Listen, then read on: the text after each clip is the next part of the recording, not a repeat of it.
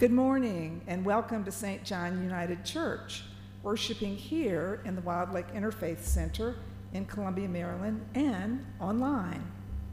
I'm ruling elder Susan Moody, leading you today in worship.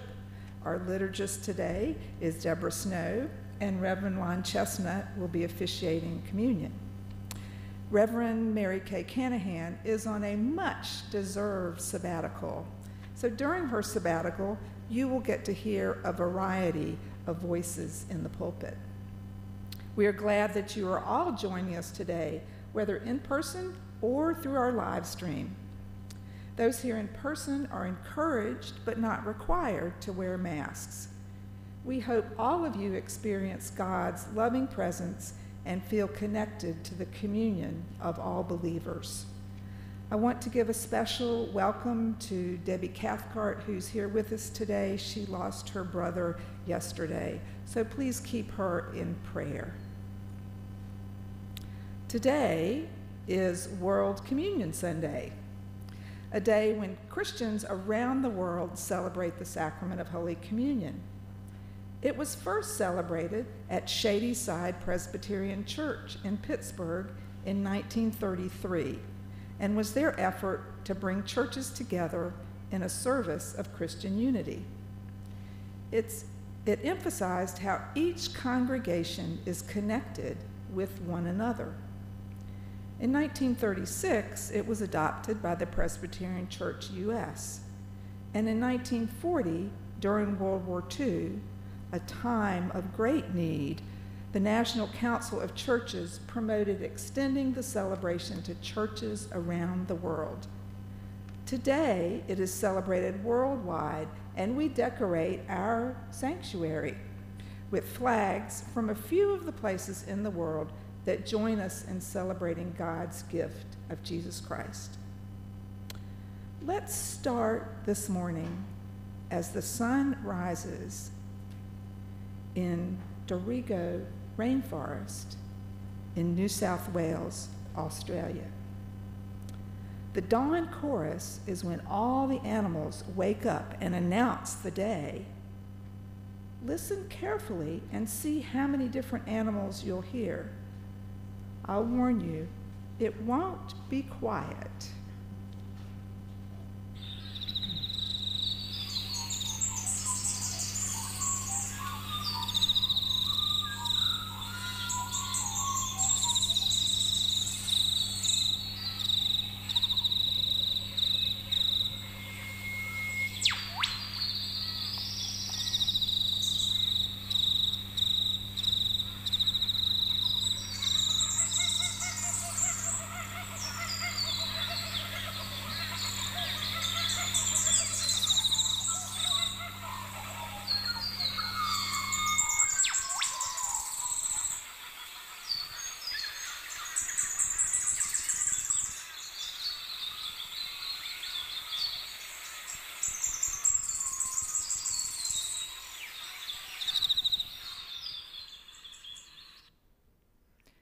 And I saw some fingers in the background, in the back counting. How many did you hear?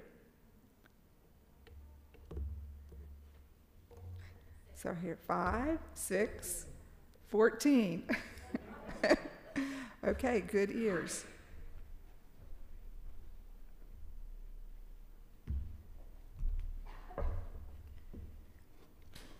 Please stand for the call to worship. From north and south and east and west, all creations sing forth your praises. The mountain and the hills burst into song. The trees of the field shall clap their hands. Your steadfast love never ceases. With joy and peace, let us worship God together.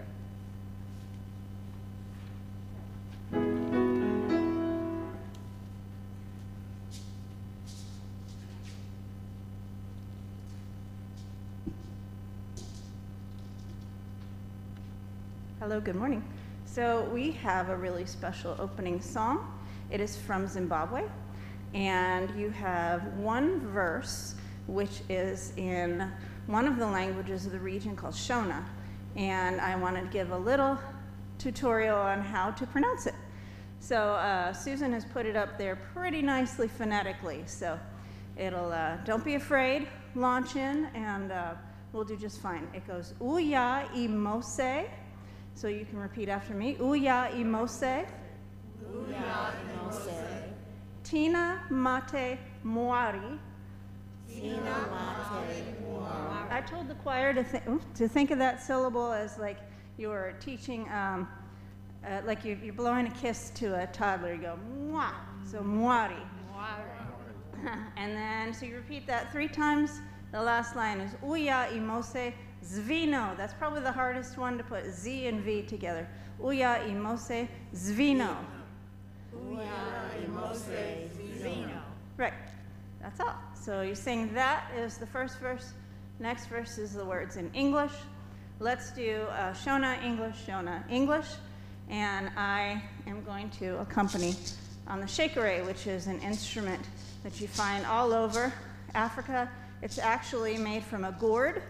So this is a squash that you're seeing here, which is hollowed out, dried, and um, has a network of beads on netting on the outside, and that's how it's played. Okay?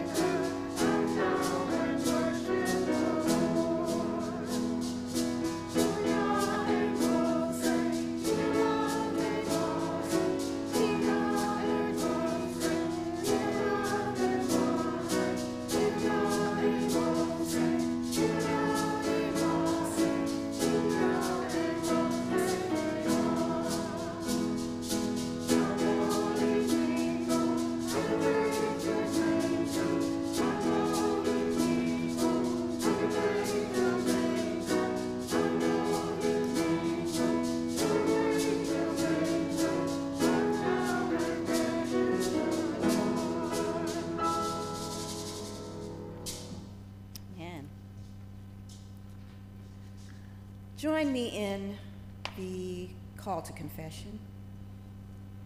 Gracious Lord, you created the whole world and called it good. But we look out at your world and see division and suffering. You call us to maintain the unity of spirit in the bond of peace, but we choose division over diversity, confrontation over civility, conflict over peace born from justice.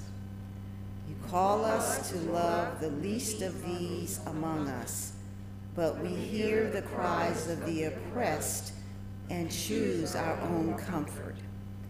We allow our senseless suffering rather than sacrifice for our neighbors. Forgive us. Grant us fresh vision to see one another as siblings in Christ. Rekindle in us your gifts, the spirit of power, love, and self discipline, that with faith in Christ we might be made new and be a part of bringing forth your peaceable kingdom. Amen. You may be seated.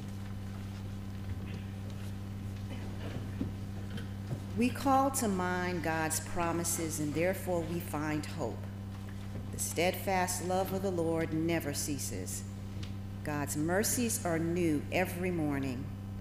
Believe the good news. In Jesus Christ, we are forgiven. Our first scripture is Psalm 104 1 to 33. Bless the Lord, O my soul. O Lord my God, you are very great. You are clothed with honor and majesty, wrapped in light as with a garment. You stretch out the heavens like a tent. You set the beams of your chambers on the waters. You make the clouds your chariot. You ride in the wings of the wind. You make the winds your messengers, fire and flame your ministers.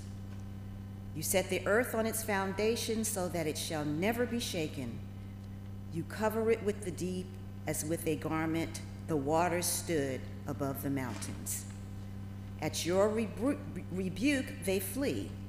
At the sound of your thunder, they take to flight. They rose to the mountains, ran down to the valleys, to the place that you appointed for them. You set a boundary that they may not pass, so that they might not again cover the earth. You make springs gush forth in the valleys, they flow between the hills, giving drink to every wild animal. The wild asses quench their thirst. By the streams, the birds of the air have their habitation. They sing among the branches. From your lofty abode, you water the mountains. The earth is satisfied with the fruit of your work. You cause the grass to grow for the cattle and plants for the people to use to bring forth food from the earth, and wine to gladden the human heart, oil to make the face shine, and bread to strengthen the human heart. The trees of the Lord are watered abundantly, the cedars of Lebanon that be planted. In them the birds build their nest. The stork has its home in their fir trees. The high mountains are for the wild goats the rocks are a refuge, a, ref, a refuge for the conies. You have made the moon to mark the seasons. The sun knows its time for setting. You make darkness, and it is night, when all the animals of the forest come creeping out. The young lions rose for their roar for their prey, seeking their food from God. When the sun rises, they withdraw and lie down in their dens. People go out to their work and to their labor until the evening. O oh Lord, how manifold are your works! In wisdom you have made them all. The earth is full of your creatures. Yonder is the sea, great and wide. Creeping things innumerable are there living things both small and great. There go the ships, and Leviathan that you forward, formed to sport in it. These all look to you to give them their food in due season. When you give to them, they gather it up. When you open your hand, they are filled with good things. When you hide your face, they are dismayed. When you take away their breath, they die and return to the dust. When you send forth your spirit, they are created and you renew, the face of the ground.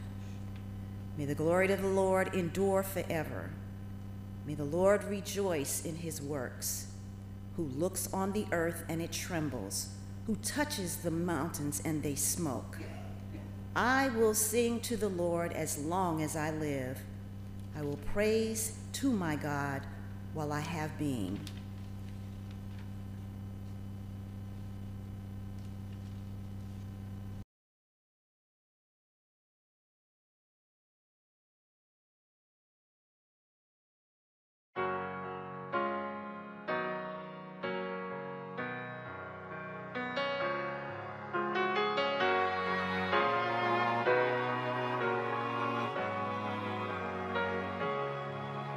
From a distance, the world looks blue and green, and the snow capped mountains white. From a distance, the ocean meets the stream, and the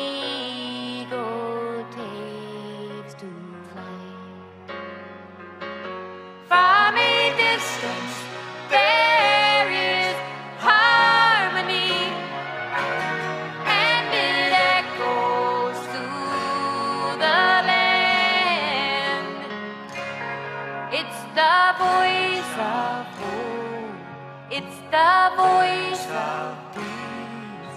It's the voice of every man.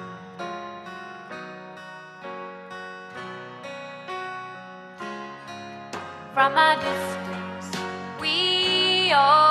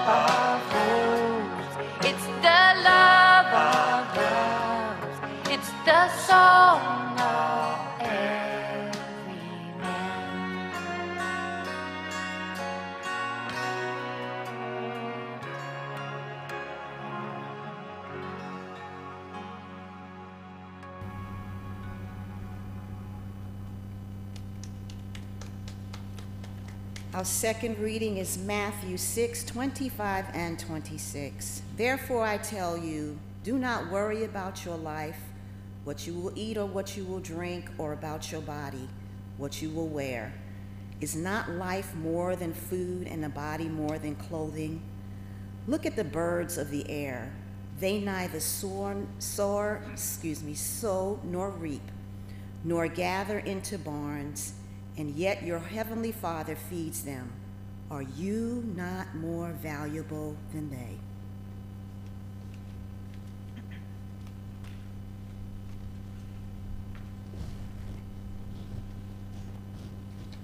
I see that I have a couple of young people here. Would you be willing to come up and help me with the message?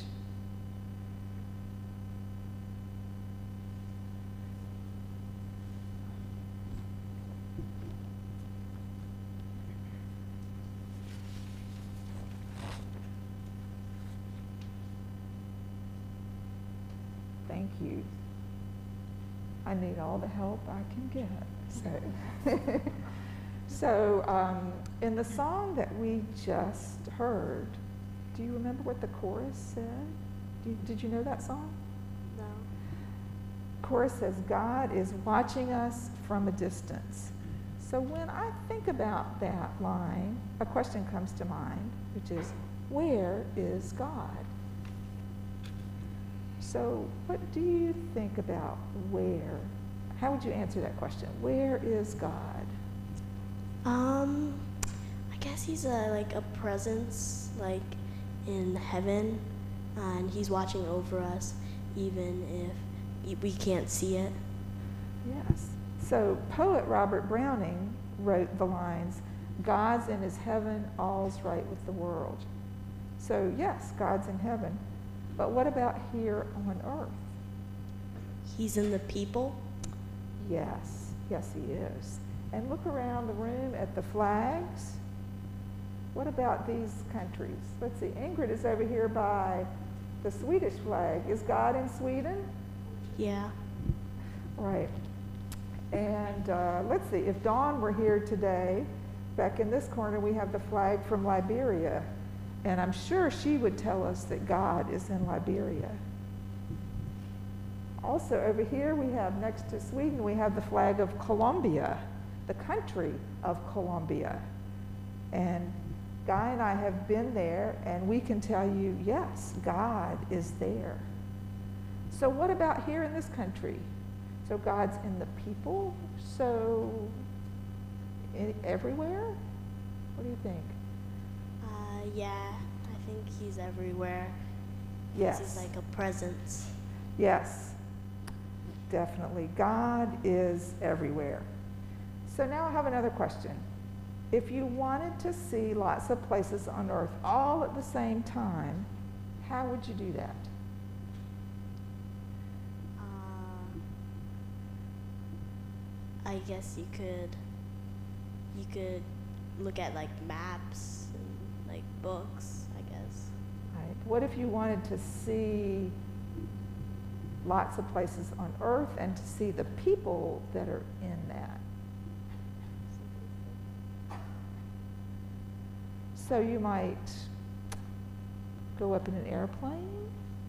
I You could see more people. You could see more of the earth. Yeah. Um, you could be up in space and see more of the earth. So you'd have to get further away to see more of the earth, Yeah. right? Right. So I think that's what this song, one of the things this song is talking about when it says from a distance. That God has a bigger view than we do. Like we just see like what's right in this room or what's right in our lives. But God has a view of all of us all at the same time. So if we look beyond our lives, then we begin to see what God sees. So when we see what God sees, we just might find something that we want to do something about. Like make friends with someone that we've disagreed with, help someone in need. We might notice some trash that needs picking up, and we might take better care of the earth. So this week, I'd like for you to try and notice things that you haven't noticed before. Maybe on your road to school, or um, in your neighborhood, or even leaving, leaving here. And think about what God might be calling you to do about that. Okay. All right, so let's have a prayer. All right. Dear God, Dear God, we know you are always with us. we know that you are always with us. Help us use our eyes to see Help us use our eyes to see and our ears to hear and our ears to hear what we haven't noticed before what we haven't noticed before so that we can love so that so we that can we love can love all of your creation. all of your creation. all of your creation. In Jesus' name we pray. In In Jesus' name we pray. Amen. Amen. Amen. Hey, thank you.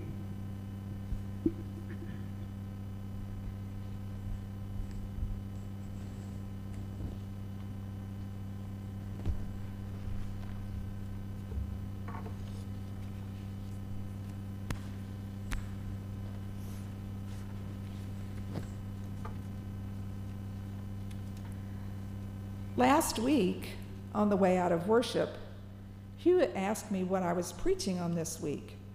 And I said, Birds. He was not entirely surprised, and if you know much about me, you won't be either, that I want to be surprised that I want to talk about birds. In fact, you might have been wondering, like Mary Kay had, why I hadn't already done it. So you might also be wondering how birds connect with World Communion Sunday, which gets to my song of inspiration from a distance. From a distance, the world looks blue and green. From a distance, the ocean meets the stream. That's how God sees the world, and that's how birds see it too. They see water and land, rivers and mountains, marshes and mangroves. They don't see the political boundaries represented by these flags, the lines that humans have drawn on the map. And unfortunately, the lines that humans are still fighting over. Today I'm going to talk about birds and nature and how engaging with them could get you closer to God and the world God wants for us. A few years ago, one of our small groups studied the book Sacred Pathways Discovering Your Soul's Path to God by Gary Thomas. A sacred pathway is the way we relate to God, see God, and draw close to God. One of the points of this book is that there isn't just one way to relate to God. There isn't even just one way for each person. Gary Thomas offers nine different pathways. He writes God has given us different personalities and temperaments. It's only natural that the differences should be reflected in our worship. I suspect over the next few weeks, we'll get a variety of spiritual temperaments reflected in our worship. The first pathway in the book is naturalist, loving God outdoors. You can imagine that might be one of my favorites. The naturalist sees creation as God's cathedral, the place that God created for us to worship and be with God. What might you experience in God's cathedral of the outdoors? St. Bonaventure, an early Franciscan friar, suggests three aspects of seeking God in the outdoors. First, consider the greatness of creation the height of the mountains, the power of the ocean, the vastness of the universe can all connect you with the infiniteness of God. I remember a birding trip to Panama several years ago when I experienced big in a new way.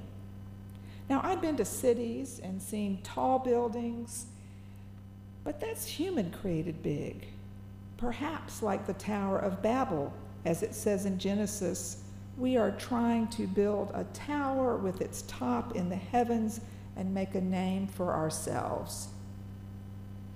In Panama, we flew to an airstrip in La Palma, located in the Darien Gap region. It's so called because of the 66 mile gap there in the Pan American Highway that's the highway that goes from Argentina to Alaska.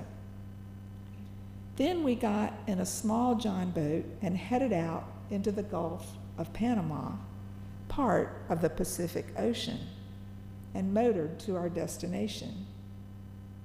Being out on such a large body of water in such a small boat, I experienced a new sense of big. God's big, not human created big. Second, consider the multitude of creation.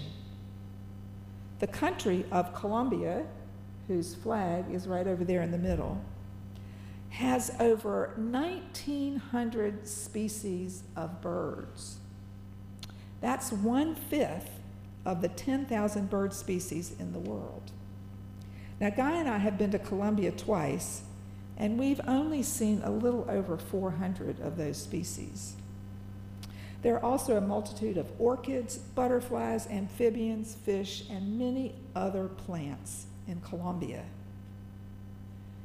Even if you can't travel to faraway places, you can still experience the multitude of creation close to home. During the pandemic, Matthew Holden in Queensland, Australia, started counting the species in his home and yard. He started with the spiders in the back of a closet. In just under a year, he logged a thousand species. Now, I haven't surveyed everything in my backyard or the spiders in the house. However, I have logged 87 bird species in my backyard. With the multitude of creation comes a multitude of sound. So if you get up early enough to hear the dawn chorus, like we started with today, you might get a sense of God hearing all of our prayers at one time. Thirdly, consider the beauty of creation. God filled the entire world with beauty. When you consider a detailed design in a flower only a quarter of an inch across, or the brilliantly patterned feathers of a yellow rail or a flicker, or the brilliant colors of a painted bunting, you know that beauty is what God intends. Getting out in nature helps me to appreciate the nature of God. And I do need to get out in it to see the world that God created, the world that is still working at times as God intended it. One of the things about the pandemic that has been draining for me was the sameness of my environment. Now, I love the birds and frogs and fish and squirrels and trees in my backyard, and I love watching the birds raise their families. However, I need to get out and meet other birds, not just wait to see which migrants show up in my yard, perhaps like we need to do as a church. And these birds don't even have to be new species. I love seeing old favorites like the black crowned night heron, birds that come each year to nest outside the birdhouse at the National Zoo in Washington. I've seen them building their nests, raising their young, taking a fish from the keeper, and I've even helped hold a bird, a sort of surgical assistant, while a scientist fitted one with a transmitter. Even though they can be a common bird around here, it's still been thrilling to see black crowned night herons on three other continents. It's another way of seeing how we are all connected.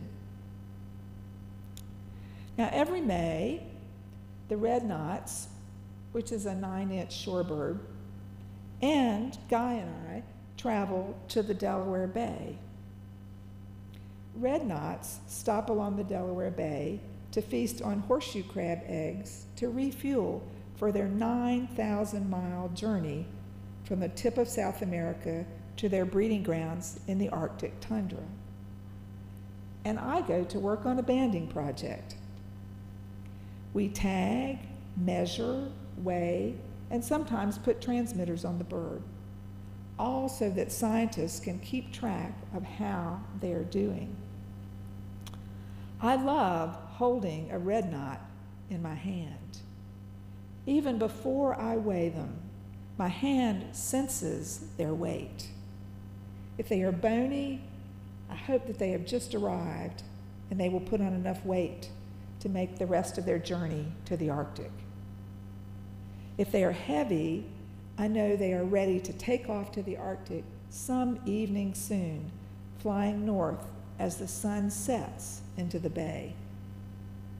And in May, when I'm not bird banding, I'm out looking for other birds. Through all these experiences, I know that is when I'm immersed in and focused on nature that human worries are left behind, just as Jesus described in Matthew. I see God created all things for good and to work together. By observing birds, we can also learn from birds. Birds are very expressive. They sing to welcome the day, as you heard in the dawn chorus. In my yard, I've heard the sunrise advancing as the songs of the birds get closer. They sing for joy when Guy fills the bird feeder and scold us when it's empty. They all sound the alarm when the neighbor's cat comes into the yard. They call to let each other know where they are, to stay in touch. And they make a chip sound, beep, like that, when they migrate together to stay connected. And they sing a good night at the end of the day. We might do well to imitate some of their behaviors. Do you sing thanks to God for each new day? Are you thankful for your food? Do you stay in touch with your neighbors and church family? Do you report dangers such as a dead deer or a downed tree in the road? And are you thankful to God at the end of the day? By spending time observing birds, I also get to practice what I call God habits. Those ways that God wants us to act in order to connect with God and with each other. When I'm out birding, as it's called, I stop, observe, and wait to see what's happen, what's going to happen. Expectant waiting. I stand or sit still and quiet, listening carefully to the different voices. And I need to be open to what happens rather than just the destination or a goal. One time, we stopped. I made Guy stop the car and said, Oh, wait, there's a bird. Well, it turned out it was a mockingbird, which is a very common bird. But as we looked further, we saw crested caracara, we saw burrowing owls. So you have to be open to what's happened and be observant to what's there. So I encourage you to get out there, to walk if you are able, or even just to sit. The author of Sacred Pathways says that the walks that are truly helpful are walks in which I lay down my agenda at the first sign of grass and let God lead my mind wherever God chooses. Sometimes it's hard, and sometimes it just takes a while. Week before last, I had had a long and stressful evening Zoom meeting. I was too wound up to be exhausted, so I went out for a short walk. As I turned back towards home, I looked in the sky and searched for Orion. He always reminds me that God is watching over me. Instead, I found a bright light in the sky and then remembered that Jupiter was going to be visible for a few days. I went in the house and got my binoculars to take a closer look, and I could see three of the moons of Jupiter, two of which were lined up on the right side. Then I went back inside again and got my spotting scope, which is on a tripod, so that I could have a longer look without wearing out my arms. The tension flew off. I began to smile. I was immersed in God's world. Now, unfortunately, talking about birds gets around to talking about the climate crisis. In North America, two thirds of our bird species are at risk of extinction due to the climate crisis. We're in a similar situation to the one of Jeremiah that we read about a few weeks ago, when God told Jeremiah to go buy a field in the face of the coming invasion. As I was reading that story again, I asked myself, how could I be like Jeremiah? How could I bring you a Jeremiah like hopeful message in light of the climate crisis? My hope is that you spend time with nature, getting glimpses of how God created the world to be. The more you learn about the natural world, you realize that God and the natural world as God created it knows how to work properly if only we'd let it. And that when you see the beauty and the wonderfulness of what God created, that is so much more awesome than anything that humans can create, my hope is that you'll want to save it, to restore it to how God created it. Lastly, let's look at the end of the Matthew verses that Deborah read, where Jesus said, Are you not of more value than they? referring to the birds of the air. Now, you might think that the implied answer is yes. Of course, humans are more valuable than birds. But consider this Are we more valuable than birds when we destroy their nesting places? When our actions reduce the amount of food available to them? When our lights disrupt their migration? Our big wind turbine farms, big expanses of windows, and non native species we have introduced to their homes, including outdoor cats, all cause the death of birds. Isn't the attitude that we are more valuable than any other living thing the exact attitude that has gotten us to the current climate catastrophe?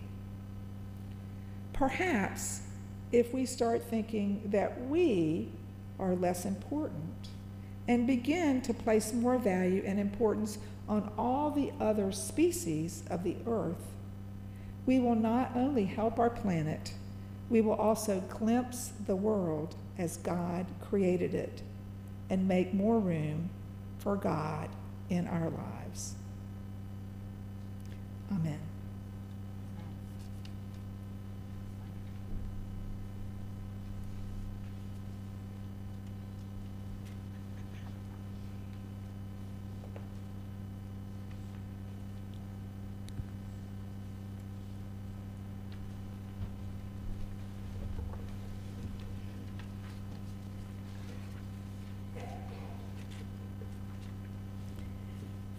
Of God, we have received much from God grace, mercy, abundance, the love of Christ, and the gift of life itself. In our worship, we praise God and give God thanks for these gifts. Now let us offer what we can as a way of saying thank you for God's generosity.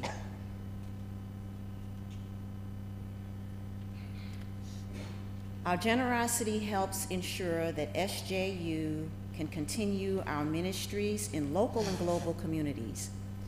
SJU welcomes donations through Givelify, the Donate Now button on the SJU website, our SJU QR code, automatic bill pay, as well as personal checks, which can be mailed to the church at the address on our website or offerings placed in the basket at the usher's table. Holy God, through Jesus, you have called us to follow. These gifts are only a small token that we accept the call. If we embrace the full meaning of that call, we would offer our whole selves. Help us to give generously in ways that can transform the world. By your grace and with the help of Jesus, we pray. Amen. While the choir sings today, I want you to envision some other place that you have received communion or some other place in the world where others are celebrating communion today on this World Communion Sunday.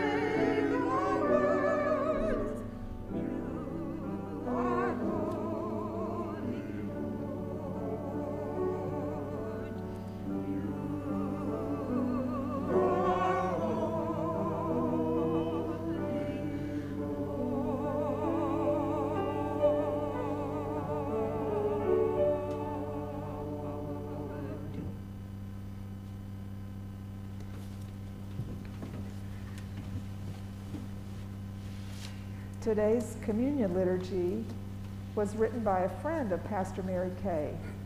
There are four verses that you will sing to a hopefully familiar tune, and I will speak the part in between the verses. The bread is ready, the cup is filled, the table is set. Let all who are hungry for the love of God come and be fed.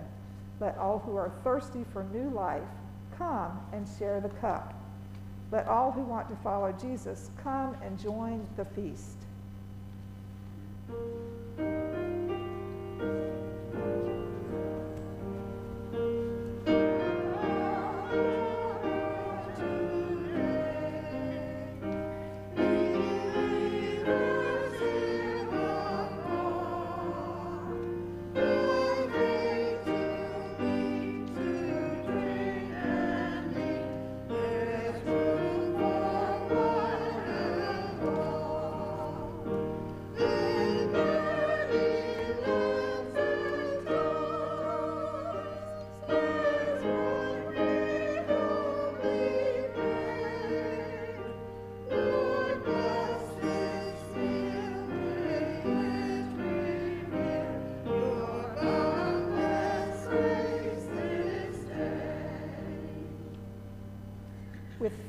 Siblings of every nation, hear these words of Jesus and marvel anew at his invitation to us all.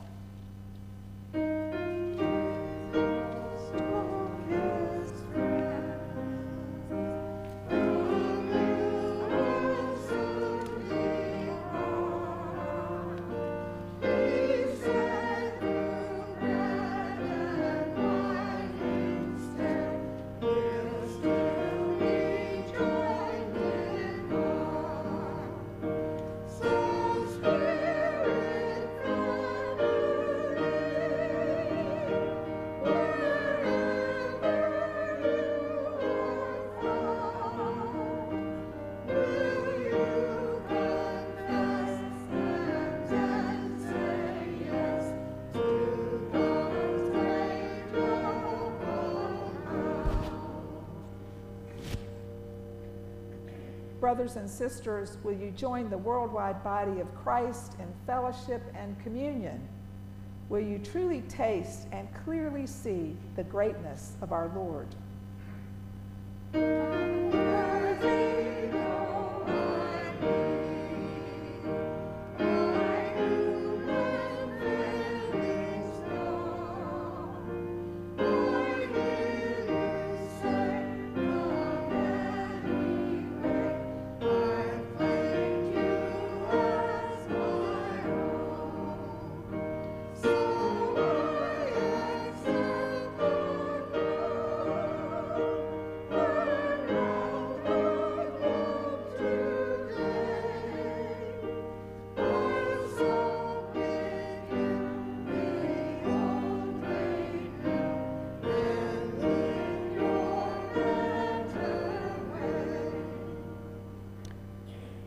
Are but a microcosm of all who are feasting on love this day.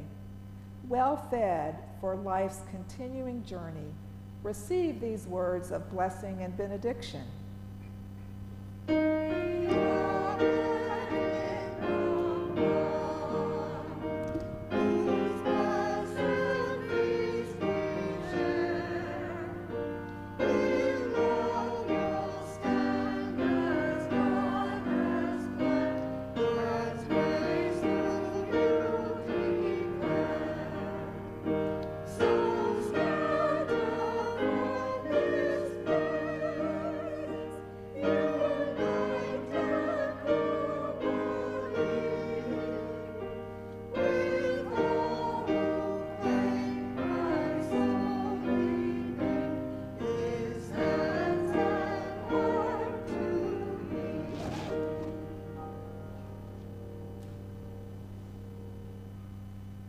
On the night in which Jesus gave himself up for us. He took the bread and gave thanks to God. He broke the bread and he gave it to his disciples and said, Take, eat. This is my body, which is given for you. Do this in remembrance of me. When the supper was over, he took the cup.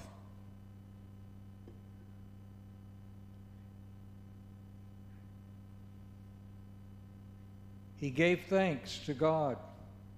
He gave it to his disciples and said, Drink from this, all of you.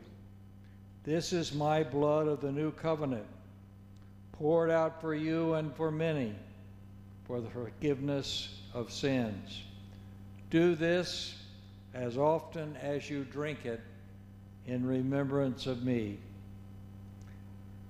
And so, as a baptized and commissioned people, remembering your mighty work in Jesus Christ, we offer ourselves, our daily lives, and our unique locations for ministry in the world that is, homes and hospitals, schools and stores, nursing homes and restaurants, offices and parks, as a living and holy sacrifice in union with Christ's offering for us as we proclaim the mystery of faith. Christ has died. Christ is risen. Christ will come again. Pour out your Holy Spirit on us gathered here and on these gifts of bread and wine. Make them be for us the body and blood of Christ, that we may be for the world the body of Christ, redeemed by his blood. By your Spirit, make us one with Christ, one with each other, and one in ministry to all the world, until Christ comes in final victory and we feast at his heavenly banquet. Through your Son, Jesus Christ, and with the Holy Spirit in your holy church, all honor and glory is yours, Almighty God, now and forever. Amen. Will you join with me in this version of the Lord's Prayer? It comes from the New Zealand Prayer Book. May your love be done on earth in time as it is in eternity. Give all of us each day the bread we need and hope to all who hunger for your life. And as we share our bread along the way, pardon us the times we've broken faith. Forgive our lack of loyalty and in the time to quickly forgive when wrongs are done to us. Do not abandon us in the time of hard testing. Save us from evil's every incarnation, from the powers that possess our spirits and our structures. Forever bind us to your liberating joy. For you alone are God of grace and glory, and rock of our redemption. Let it be so, God. Let it be so. Amen.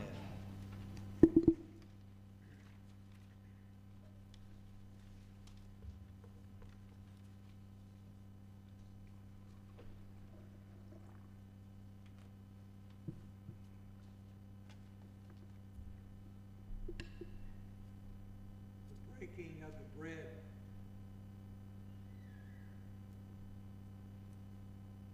Sanctioned by Jesus, given to us as we commemorate who he is. The blessing of the juice, the vine, poured out for you and for many, for the blessing of all of us in the name of Christ. Amen. And now we invite you, let's begin with the group over on this side, coming down to the front to receive the bread and the little cup. You'll take it and go back to your seat and then eat and drink as you sit down. Will you come forward now to receive the sacrament?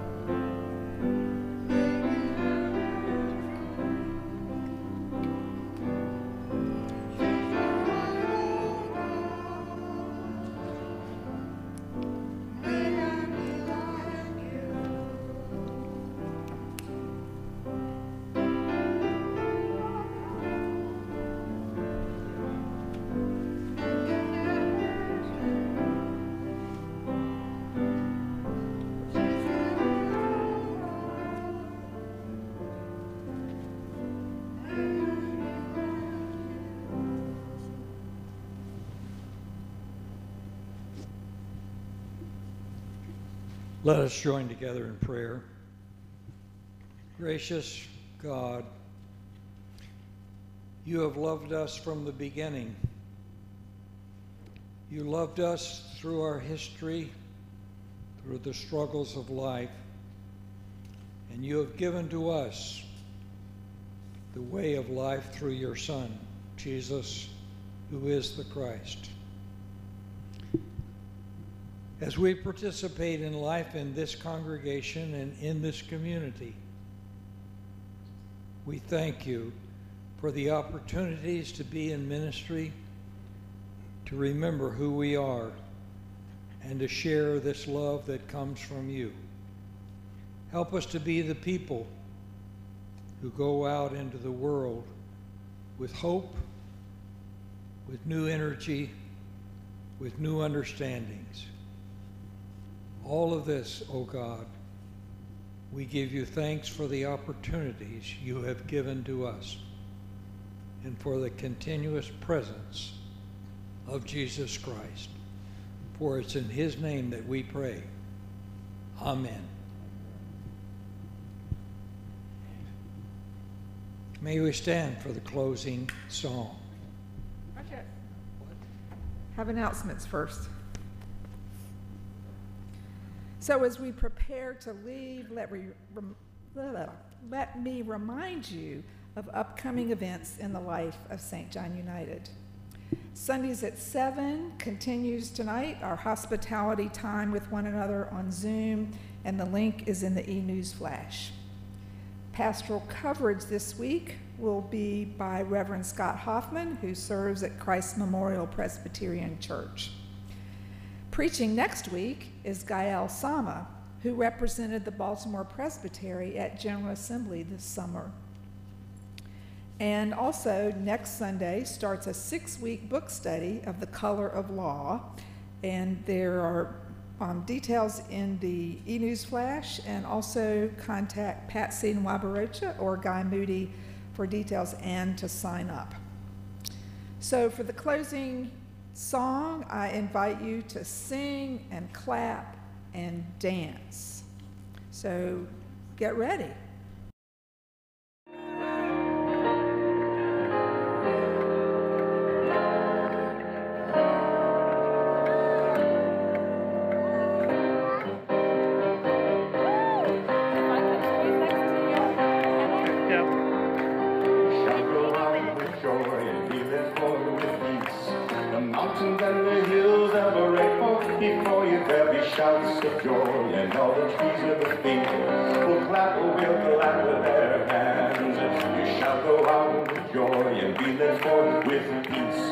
Mountains and the hills ever echo before you there'll be shouts of joy and all the trees of the field will clap will clap with their hands. And all the trees of the field will clap with their hands.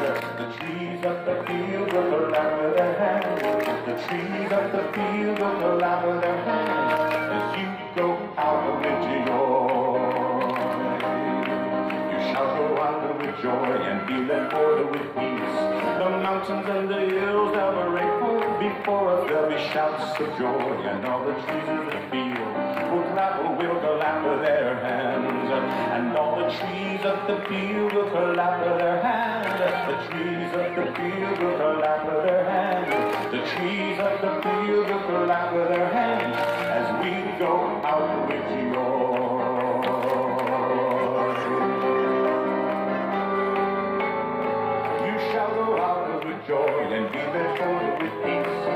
mountains and the hills have a record before you valley shouts of joy and all the trees of the field will clap or will clap their hands. Keep a simcha tipsy, move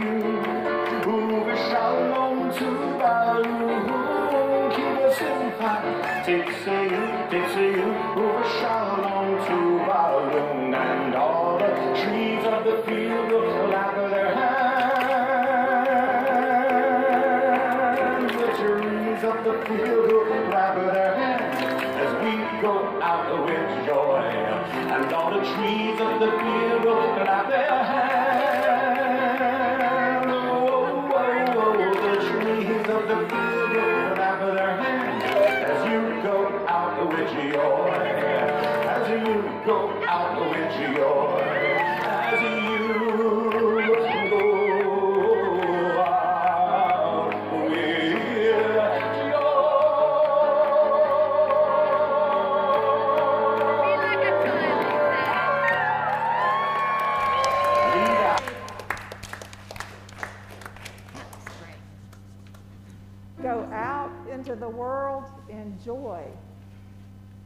Do I need to start there? Go out into the world in joy.